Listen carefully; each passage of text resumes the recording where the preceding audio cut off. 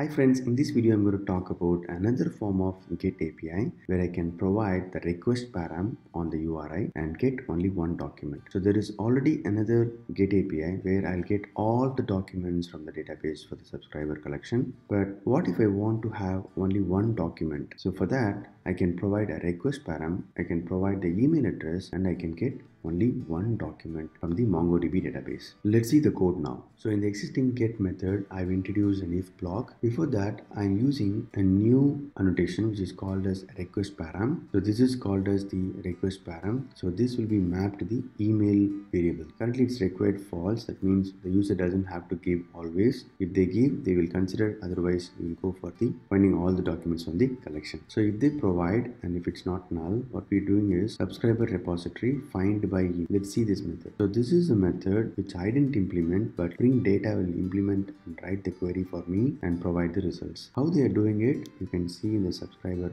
model class. For each field, it's possible that Spring Data can provide custom implementation. So this is called as Spring Data query method. If you're more interested in this, please search for Spring Data query method. So for each field in the model class, I can write find by email, find by first name, find by last name so that the Spring Data can provide the default implementation. So we are using email address and this method to get the subscriber. Once we got the subscriber, we're able to map to the DTO and we are adding to the list and returning back. This is how a simple GET API works for a single document. When I click on the send button, you can see it queried the single document from the Mongo database. Hope this small information is helpful. Please subscribe to NTV channel. Thank you.